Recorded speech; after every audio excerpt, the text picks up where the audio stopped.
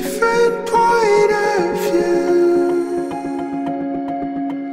In retrospect, you're the one thing that was true.